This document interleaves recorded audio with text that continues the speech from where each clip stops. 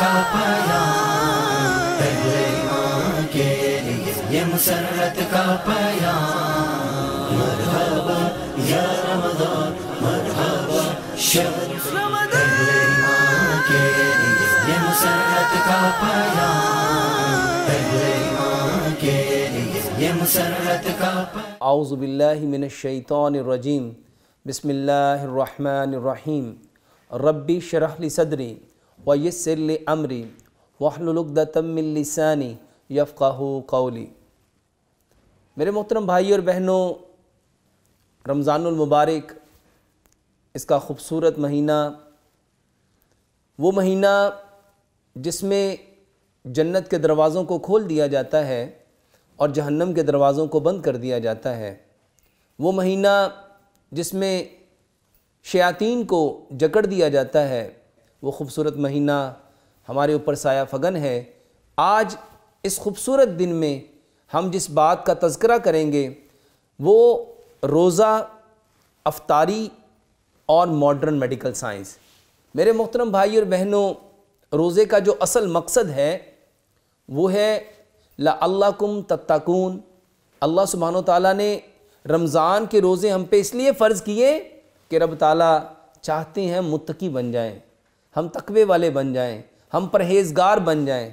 मेरे मोहतरम भाई और बहनों, रोज़े के अंदर हमारी जो सबसे ज़्यादा कंसंट्रेशन थी, जो फोकस था, जो इंटेंशन थी, जो हमारा तवज्जो और ध्यान होना चाहिए था, वो था उस मकसद के ऊपर जो हमारा रब हमें देना चाहता है।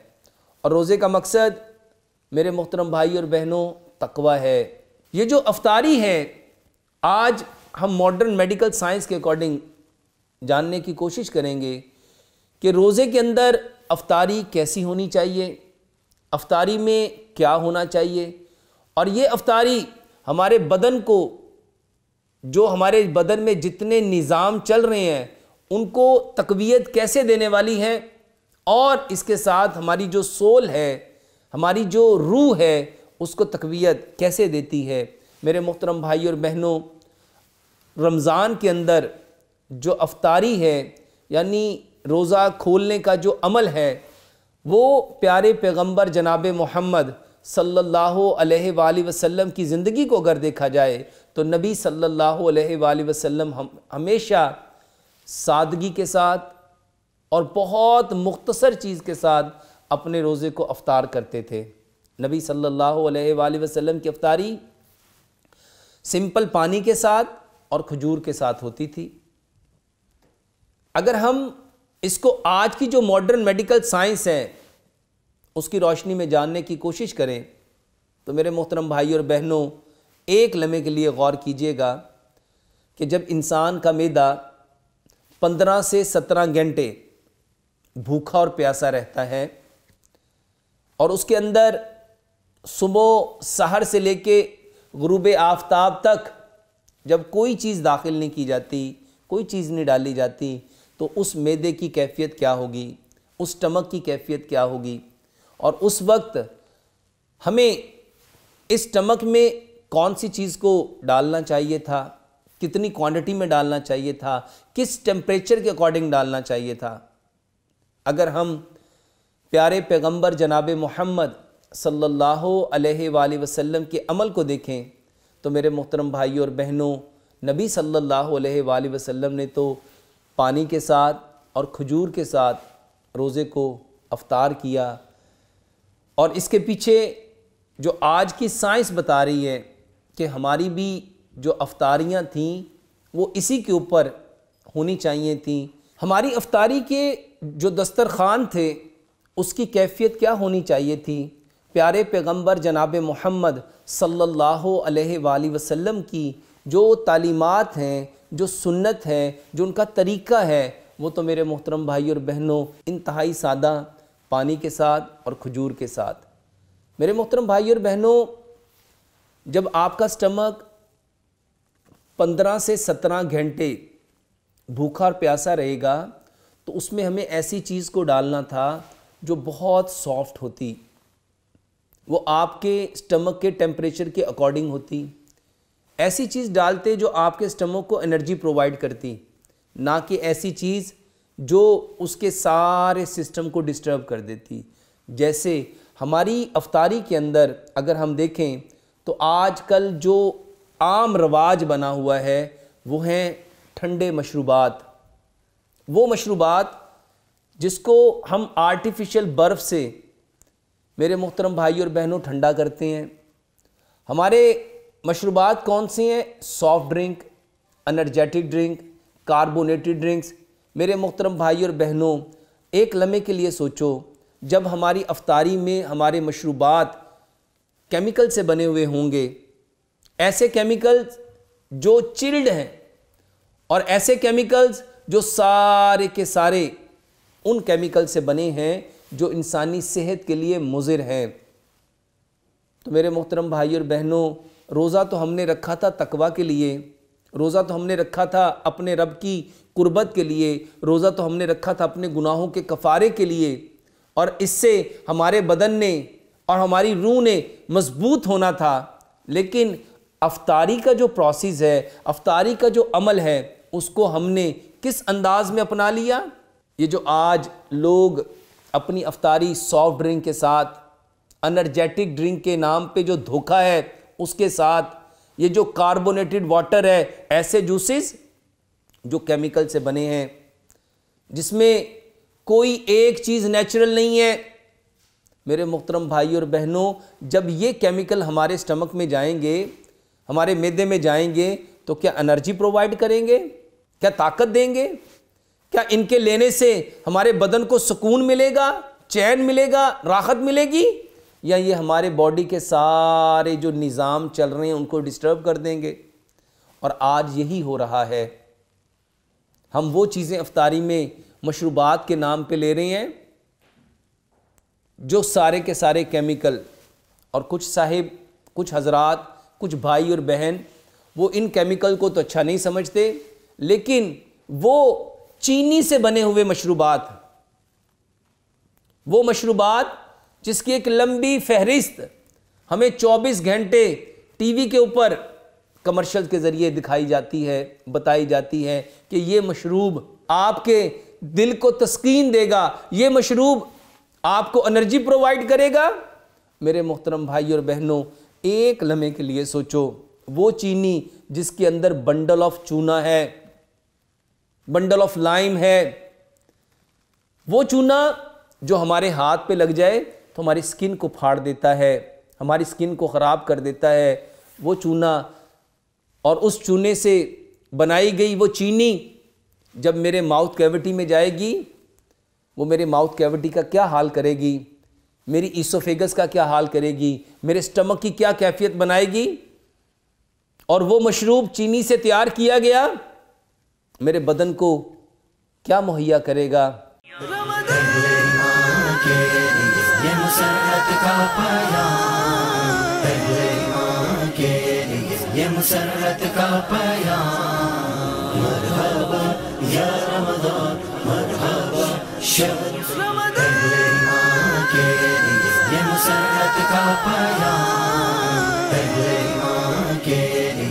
मुसरत का मेरे मोहतरम भाई और बहनों, ये रमज़ानुल मुबारक के अंदर जानना है, समझना है, क्योंकि नबी सल्लल्लाहु अलैहि वसल्लम ने क्या फरमाया? दो नेमतें ऐसी हैं जिसकी इंसान कदर नहीं करता। एक सेहत है, एक फरागत है। रोज़ा तो रब ताला ने दिया था तकवे के लिए, और आज सारा दिन रोज़ा रख के, अफतारी के वक्त मैं अपने बदन पे, अपने मैदे पे, अपने सारे बदन के निज़ाम पे क्या असरात मुरतब कर रहा हूँ? मैं अपने बदन को क्या दे रहा हूँ? जब हम ये चीनी से बने हुए मशरूबात, केमिकल से बने हुए मशरूबात अपने जिसम को देंगे, इसको इनटेक करेंगे पिएँगे हमारी कैफियत क्या होगी? मेरे मोहतरम भाई और बहनों, हमें वो मशरूब लेने थे जो हमारे रब ने पैदा किए और बेहतरीन मशरूब फलों की सूरत में हम ताज़ा फलों का रस लेते, हम सेब का रस लेते, हम मौसमी का रस लेते, हम माल्टे का रस लेते। मेरे मोहतरम भाई और बहनों, जो रब ताला ने ताज़ा फ्रेश फल बनाए हैं, उनका रस लेते। हम गुड़ के साथ अपने मशरूबात बनाते। हम गुड़ की स्कंजवी बनाते। हम गुड़ के साथ नबीज़ बनाते। हम खजूरों के साथ नबीज़ बनाते। हम अंगूरों के साथ नबीज़ बनाते। हम बादाम के साथ नबीज़ बनाते। नबीज़ क्या था? पानी के अंदर बादाम डाल लो, खजूरें डाल लो, इसको भिगो के रख दो। इसको ग्राइंड करके बादाम की, बादाम का छिलका उतारो, खजूर की गुटली निकालो और उसको ग्राइंड कर लो। ये नबीज तैयार हो गया। इसमें ताकत और डालनी है, इसको और बेहतरीन करना है। इसमें सफ़ेद तिल डाल लो, इसमें चारों मगज़ डाल लो, इसमें खशखाश डाल लो। ये आपके बदन को और तकवीत देने के लिए? मेरे मोहतरम भाई और बहनों, ये बेहतरीन मशरूब जिसको हम अपनी ज़िंदगी में ताकत के लिए इस्तेमाल कर सकते हैं। अफतारी के वक्त जब आपका मैदा पंद्रह से सत्रह घंटे मेरे मोहतरम भाइयों खाली रहा है, उसमें वो चीज़ें डालो जो रब ने पैदा की हैं।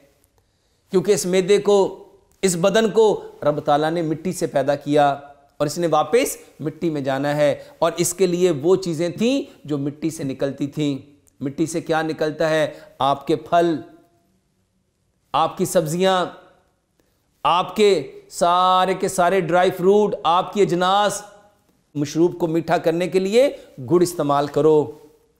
और इसके साथ अफ्तारी के वक्त, मेरे मोहतरम भाई और बहनों, अगर हम अपने मैदे में ये चिकनाई वाली, ये तेल वाली उस तेल वाली जिसमें बार बार चीज़ों को प्रोसेस किया जाता है। ये जो आप बाज़ार के बने हुए समोसे, पकौड़े, कचौरियाँ, ये जो चिकन रोल और ये जो आप इस तरह की जितनी भी तली हुई आइटम्स हैं, जिसको बार बार एक ही तेल में प्रोसेस किया जाता है बार बार पकाया जाता है, ये वाला तेल किस कदर अपने अंदर टॉक्सिन की प्रॉपर्टी लिए रख, हुए है? ये तेल नहीं है। मेरे मोहतरम भाइयों, आज जितनी हमारी नालियों के अंदर ब्लॉकेज है, ये इसके सबब है। ये जो हमारे लिवर के ऊपर फैट आ रही है, इस कुकिंग ऑयल की वजह से है। ये जितनी ब्रेन में ब्लॉकेज आ रही है, टांगों में ब्लॉकेज आ रही है, ये जो वेरिगोज वेन हो रही है, सबब क्या है? इसका सबब वो ऑयल है जो जमता है। ये जितने कुकिंग ऑयल हैं, ये सारे के सारे जमते हैं। इसका एक्सपेरिमेंट करना चाहते हैं? अपने घर में जाओ किचन जहाँ खाना पकाते हो, उस दीवार पे हाथ फेरो। आपके हाथ पे क्या आएगा? मेरे मोहतरम भाइयों, ये वो कुकिंग ऑयल है जो दीवार पे चिपक गया। ये वो कुकिंग ऑयल है जो एग्जॉस्ट फ़ैन पे चिपक गया। जिसने एग्जॉस्ट फ़ैन को क्या कर दिया? और ये वो कुकिंग ऑयल है जहाँ बर्तन धोते हो सिंक के पाइप को देखो। जिसने चार इंच के पाइप को बंद कर दिया, वो आपकी नालियों का क्या हाल करेगा? मेरे मोहतरम भाई और बहनों, अफतारी के वक्त वो कुकिंग ऑयल इस्तेमाल करो जो कभी जमता नहीं है। बेहतरीन कुकिंग ऑयल सरसों का तेल है। इससे बेहतरीन तेल जैतून का है। लग, मगर वो इतना एक्सपेंसिव है? मेरे मोहतरम भाइयों, सरसों का तेल कभी जमता नहीं। सरसों के तेल के किस कदर फवाइद मेरे मोहतरम भाई और बहनों, सरसों का तेल आपके खून को जमने नहीं देगा, क्योंकि सरसों की ये क्वालिटी है। ना खुद जमता है, ना किसी चीज़ को जमने देता है। मेरे मोहतरम भाइयों, अफतारी के वक्त सरसों के तेल में बने हुए अगर आप लेना ही चाहते हैं तो आप अपने समोसे, पकौड़े और वो सारी तली हुई चीज़ों को तलने के लिए आप सरसों का तेल इस्तेमाल करें। मेरे मोहतरम भाई और बहनों, अफतारी के वक्त ये जो हम जितनी बाज़ार की बनी हुई चीज़ें, ये आपके फास्ट फ़ूड या आपके जंक फ़ूड या आपके फ्रोज़न फ़ूड या आपके आर्टिफिशियल फ़ूड जितने कैन फ़ूड हैं, ये जितने आर्टिफिशियल फ़ूड हैं, ये आपके जितने रिफाइंड फ़ूड हैं प्रोसेस फूड्स हैं, ये सारे के सारे आपको बीमार करते हैं। हमें अफ्तारी के वक्त कौन सी चीज़ें लेनी चाहिए थी? वो चीज़ें जो हमें एनर्जी देती, वो चीज़ें जो हमें ताकत देती कुत देती, वो चीज़ें जो हमारे रब ने हमारे लिए पैदा की लेकिन मेरे मोहतरम भाई और बहनों, हमने क्या खाना शुरू कर दिया? अफतारी में क्या लेना शुरू कर दिया? हम बीमार क्यों हैं? मेरे मोहतरम भाई और बहनों, अफतारी में हमें तकवा हासिल करना था और तकवा के लिए उन चीज़ों का अहतमाम करते जो प्यारे पैगंबर जनाब मोहम्मद सल्लल्लाहु अलैहि वसल्लम इस्तेमाल करते थे। और आज हमारी अफतारियों की कैफियत क्या है? हमारे दस्तरखानों की कैफियत क्या है?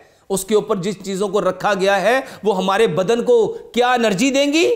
ये चीज़ें खा के क्या हम क्यामुल लाइल कर पाएँगे? क्या हम रात को अल्लाह के सामने खड़े हो सकेंगे? क्या इसको खाने के बाद हमारे अंदर वो एनर्जी होगी? कि जिससे हम तकवा हासिल कर सकते, जिससे सबर हासिल कर सकते, सुकून हासिल कर सकते, चैन हासिल कर सकते, राहत हासिल कर सकते, तस्कीन हासिल कर सकते इतमान हासिल कर सकते, वो सारी की सारी एनर्जीज जो हमारा रब हमें देना चाहता था, क्या वो हमें मिल सकती थी? मेरे मोहतरम भाई और बहनों, ये रमज़ानुल मुबारक। इसके अंदर एक एक चीज़ को जानना है, एक एक चीज़ को समझना है।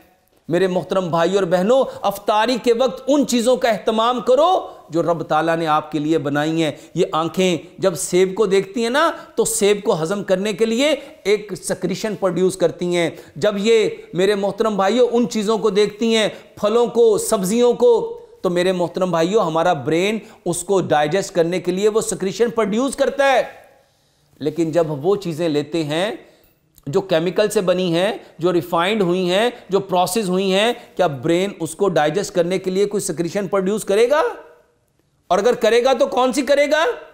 मेरे मोहतरम भाई और बहनों, ये अफतारी के वक्त इन चीज़ों को लेना आपके बदन को किस कदर ख़राब करेगा?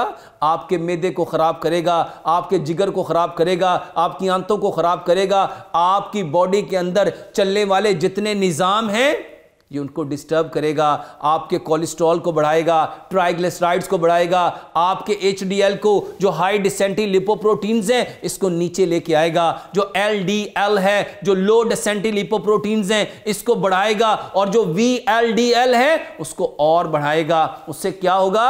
आपका खून गाढ़ा होगा, दिल को उस खून को पूरे जिसम में गर्दिश करने के लिए सर्कुलेशन करने के लिए, दिल को ज़ोर ज़्यादा लगाना पड़ेगा। दिल जब ज़ोर लगाएगा, उसके जो मसल्स हैं, उसमें प्रॉब्लम आएगी। मायोकार्डियल मसल्स की इन्फाक्शन होगी। इससे क्या होगा? आपके जो मायोकार्डियल मसल्स हैं, उसमें इंजाइना पेक्टोरस होगा। मेरे मोहतरम भाइयों, जो वेल्व्स हैं, ये वो वेल्व्स मेरे मोहतरम भाइयों, उसके सुकड़ने और फैलने पे, उसके परफॉर्मेंस में डिस्टर्बेंस आएगी। उसकी प्रॉब्लम होगी। आपकी नालियों के अंदर, मेरे मोहतरम भाइयों, ये चर्बी, ये तेल जिसको आज हम खुशी खुशी खा रहे हैं, ये हमारी आंतों में, हमारी आर्टरीज में, हमारी वेन्स में ये जमेगा। और दिल को जो खून मुहैया करने वाली कोरोनरी आर्टरीज हैं, मेरे मोहतरम भाई, उसको ब्लॉकेज करेगा। और आज ये जो लोगों के नालियों के अंदर स्टंट डर रहे हैं, किस वजह से है? क्योंकि नालियों में ब्लॉकेज आ रही है। और अगर ये सारी चीज़ें हमने अफतारी के अंदर ले ली तो मेरे मोहतरम भाई और बहनों, हमारे बदन की क्या कैफियत होगी? हमारी सेहत की क्या कैफियत होगी? रब ताला तो हमारे दिल को इस रमज़ान के ज़रिए तकवीत देना चाहता है। हमारे मैदे को तकवीत देना चाहता है, हमारे जिगर को तकवीत देना चाहता है, हमारे गुर्दों को तकवीत देना चाहता है, हमारी नालियों को तकवीत देना चाहता है, हमारे बदन को मज़बूत करना चाहता है, लेकिन ये चीज़ें अगर हमने अपना ली तो मेरे मोहतरम भाई और बहनों, ये बताओ कि हमारे बदन को सेहत मिलेगी? तकवा मिलेगा या बीमारियाँ मिलेंगी? और यही सबब है कि आज रोज़ा रखने के बावजूद मेरे मोहतरम भाई और बहनों, हमारे बदन की कैफियत क्या है? हम सेहतमंद क्यों नहीं होते? रोज़े रखने के बाद हमारे जिसम में वो जो ईमान की कैफियत होनी चाहिए थी, वो क्यों नहीं होती? रोज़ा तो आया था ताकत देने के लिए कुवत देने के लिए। रोज़ा तो आया था हमें पाकिजा करने के लिए, हमारे सारे बदन के जितने ऑर्गन थे सिस्टम थे, उसको कवि करने के लिए।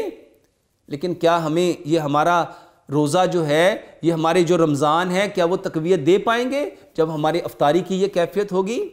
मेरे मोहतरम भाई और बहनों, अफ्तारी के अंदर सादगी में आओ, सादगी में आओ, सादगी में आओ। जिस तरह प्यारे पैगंबर जनाब मोहम्मद सल्लल्लाहु अलैहि वसल्लम अफ्तारी का अरेंज करते थे, अफ्तारी का बंदोबस्त करते थे, अल्लाह से दुआ करते हैं। अल्लाह सुबहान ताली हमें सौ फ़ीसद प्यारे पैगंबर जनाब मोहम्मद सल्लल्लाहु अलैहि वसल्लम के तरीके के मुताबिक, मेरे मोहतरम भाइयों, जब अफ्तारी हो, खजूर के साथ रोज़ा अफ्तार करो, उसके साथ वो पानी पियो जो आपके बॉडी के टेम्परेचर के मुताबिक है। नबीज़ पी सकते हो, मेरे मोहतरम भाई और बहनों, ताज़ा फलों का मशरूब पी सकते हो और इसको पीने के बाद थोड़ी देर का गैप दो, नमाज़ पढ़ो, वापस आओ और उसके बाद खाना जो खाना है, उसको उस तरीके से खाओ। मेरे मोहतरम भाइयों, खाने को अच्छी तरह चबा चबा के, जितना खाने को चबाते जाओगे, वो खाने का टेम्परेचर आपके बॉडी के अकॉर्डिंग हो जाएगा और वो टेम्परेचर का खाना जब आपके स्टमक में जाएगा आपको प्रॉब्लम नहीं देगा, बल्कि उसके अंदर चबाना, ज़्यादा चबाने की वजह से जो सलाइवा आया होगा, वो अल्कलाइन है, वो आपकी बॉडी के सारे एसिड के साथ मिलके उसको न्यूट्रल करेगा, वो आपके बदन को तकवीत देगा, आपको फ़ायदा देगा, आपको ताकत देगा। और रमज़ान का जो असल मकसद तकवा है, वो हमें हासिल करने में मदद देगा। अल्लाह से दुआ करते हैं। अल्लाह सुबहान ताली इन सारी बातों को समझने की, समझ के अमल करने की और अमल करके इस खूबसूरत पैगाम को कायनात के अंदर बसने वाले जितने कच्चे और पक्के मकानों में इंसान हैं, उन तक पहुँचाने की तोफ़ी अता फ़रमाए। वमा अलैना इल्लल ये मुसरत का पैगाम के ये मुसरत का पयाम मरहबा या रमज़ान मरहबा शहर